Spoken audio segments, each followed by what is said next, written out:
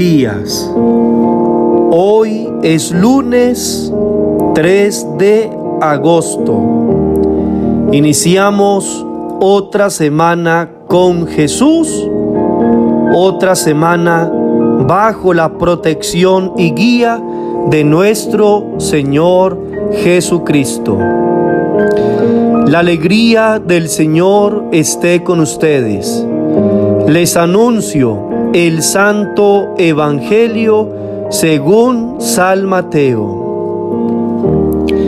Después que la gente se hubo saciado, Jesús apremió a sus discípulos a que subieran a la barca y se le adelantaran a la otra orilla, mientras él despedía a la gente. Y después de despedir a la gente, subió al monte a solas para orar. Llegada la noche, estaba allí solo. Mientras tanto, la barca iba ya muy lejos de tierra, sacudida por las olas, porque el viento era contrario. De madrugada se les acercó Jesús andando sobre el agua. Los discípulos viéndole andar sobre el agua, se asustaron y gritaron de miedo, pensando que era un fantasma. Jesús les dijo enseguida, ánimo, soy yo, no tengan miedo. Pedro le contestó, Señor, si eres tú, mándame ir hacia ti andando sobre el agua. Él le dijo, ven. Pedro bajó de la barca y echó a andar sobre el agua, acercándose a Jesús. Pero al sentir la fuerza del viento, le entró miedo. Empezó a hundirse y gritó, Señor, sálvame. Enseguida Jesús extendió la mano, lo agarró y le dijo, qué poca fe, ¿por qué has dudado? En cuanto subieron a la barca, amainó el viento. Los de la barca se postraron ante él, diciendo, realmente eres el Hijo de Dios. Terminada la travesía, llegaron a tierra en Genezaret, y los hombres de aquel lugar apenas lo reconocieron, pregonaron la noticia por toda aquella comarca y trajeron donde él a todos los enfermos. Le pedían tocar siquiera la orla de su manto, y cuantos la tocaron quedaron curados. Palabra del Señor, gloria a ti, Señor Jesús.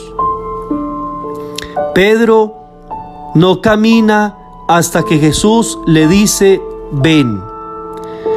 También Jesús nos dice esa palabra en diversas ocasiones al día, cada vez que nos viene a la mente una buena obra, hacer un favor, dar una limosna, visitar un enfermo. Es posible que no nos demos cuenta de esta realidad, pero es Dios quien nos inspira esos pensamientos. Las dificultades llegan cuando nos pide algo más, un sacrificio mayor. Es entonces cuando sentimos que nuestras pasiones se revelan y nos echamos atrás. Aquella posibilidad de avanzar se ha convertido en un fracaso, en un naufragio. ¿Por qué? Veamos ¿Qué le sucedió a Pedro? Al principio se asustó al ver a Jesús, que llegaba de forma tan inesperada, pero al ver que era Él, se sintió seguro y a la voz de su maestro comenzó a dar los primeros pasos. Y luego dudó, tuvo miedo, no confió en el poder de Cristo para continuar adelante y empezó a hundirse. Lo que le faltaba era fe. Con fe Pedro hubiera cruzado a pie todo el lago. Con fe, nosotros también seríamos capaces de los mayores milagros. Si tuviéramos un poquito de fe, nos sorprenderíamos de hasta dónde podemos llegar. Amado Jesús, creo que verdaderamente eres el Hijo de Dios y hoy, al igual que llamaste a Pedro, me llamas porque quieres tener un encuentro conmigo en la oración.